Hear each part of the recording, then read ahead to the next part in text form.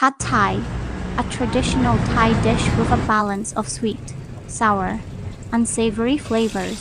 Rice noodles. Tamarind, fish sauce, and spices make it delicious. Add your choice of protein, garnished with peanuts and lime.